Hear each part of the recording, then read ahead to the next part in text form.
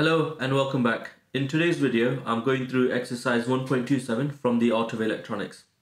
And in this exercise, we need to prove that a circuit whose current is 90 degrees out of phase with the driving voltage consumes no power when averaged over an entire cycle. So firstly, I will go through this exercise in a visual form to understand better what we are doing when we go over the maths. The exercise is a little bit maths heavy, but I have explained what all the rules and the formulas that I have used. If you have any questions, obviously, please let me know in the comments section below. So let's start by looking at what 90 degrees out of phase means and what our current and voltage waveforms look like. Let's say we have a voltage waveform which has the equation sine 2 pi ft which you can see with the blue line on the screen right now. So it starts off at zero and then um, somewhere around the first quarter of the waveform it goes to its peak. In the middle of the waveform it's at zero and at three quarters of the waveform it's at its negative peak. And then at the full cycle, so one cycle over here, it comes back to its original position. The question tells us that the current is 90 degrees out of phase. So 90 degrees in terms of radians is pi over 2. So 2 pi is 360 degrees. So what I've done here to plot the current waveform, I've done sine, I have done sine 2 pi ft plus pi over 2, so given a 90 degree phase to the current signal, which you can see with the orange line. So the orange line starts off at the maximum peak value and then goes through the entire cycle ending up again at the maximum peak value. And you can see the voltage waveform, the blue one, is 90 degrees, so pi over 2 out of phase with the current waveform. So if we were to shift this orange waveform to the right by 90 degrees, we would end up over here. The power is basically the voltage times the current. And we can plot this using just multiplying the two waveforms together. And I've done that on Excel and you can see the result on the red line.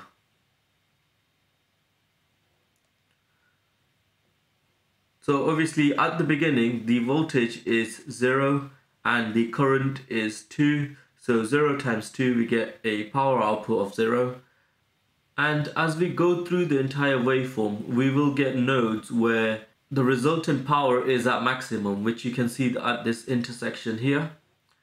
This intersection here, obviously both of the numbers are negative, so your result your resultant power is positive.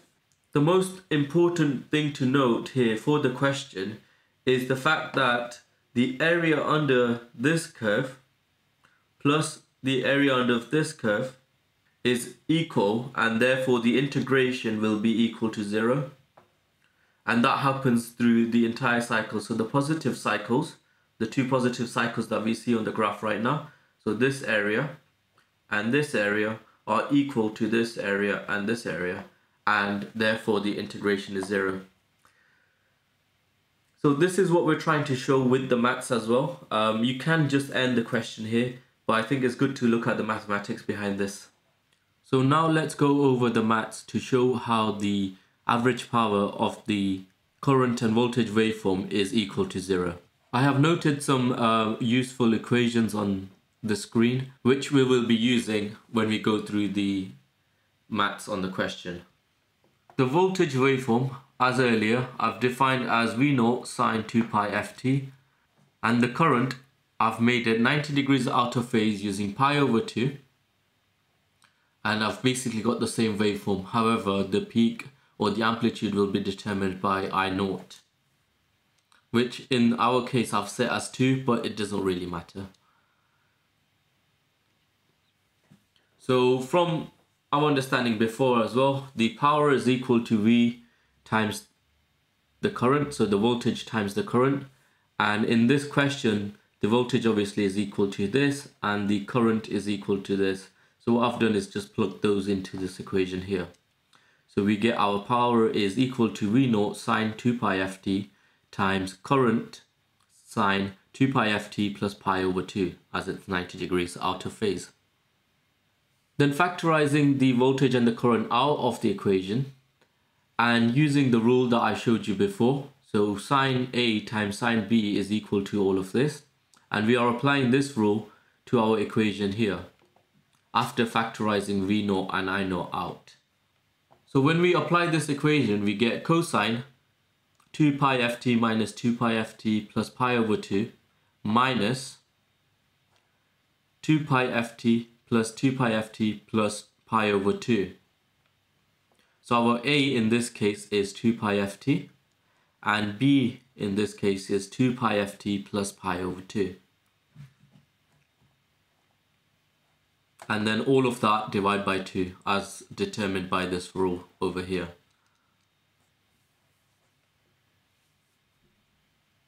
And then we can simplify this equation Obviously we have 2 pi ft minus 2 pi ft here, so they can cancel each other out. And then we have 2 pi ft plus 2 pi ft, so we can put combine them together. And we basically end up with this equation here. Now the cosine of pi over 2 is equal to 0. So we can basically get rid of this section here. So it's 0 minus cosine 4 pi ft plus pi over 2 all of that divided by 2. So if you get rid of this, we end up with this equation over here. So you get V naught I naught times minus cosine 4 pi ft plus pi over 2, everything divided by 2. So this is the equation we had from the previous slide. So I've just made moved it over here so that it's easier to follow. Now we introduce an integration. This integration is given to us in the book and it basically is telling us that the average power is equal to 1 over t integral from 0 to t of v times i over dt. So the, the capital T in this case is the period which is equal to 1 over the frequency. Now if we plug in our numbers, we know that v times i is equal to all of this over here so we've basically replaced this section with that over here.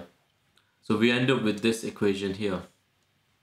Now just tidying up this equation, we can move the 2 and the V naught and the I naught outside the integral. So we end up with this and it's a li little bit easier to look at. So I've also moved the minus sign outside. So I've got minus V naught I naught over 2 times the period. And the integral goes from 0 to t and it is cosine 4 pi ft plus pi over 2. Now just to show you some rules, um, when we're doing integrals for cosine, the integration of cosine at plus b is equal to sine at plus b over a. So this is the rule that we'll be following. And applying that rule, we end up with this. So you get the average power is equal to minus v naught i naught over 2t sine 4 pi ft plus pi over 2 and 4 pi f underneath. And obviously we're integrating this from t equals 0 to t equals um, the capital T, which is the period or the one cycle time. So if you just correlate back to this uh, rule over here, uh, 4 pi ft is a, sorry, 4 pi f is a, and pi over 2 is b.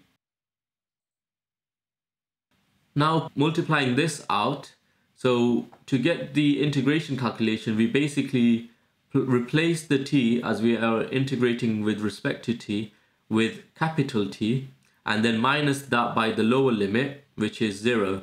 So what I've done here is replace the t with this and then for the minus 1 I've replaced the t with 0.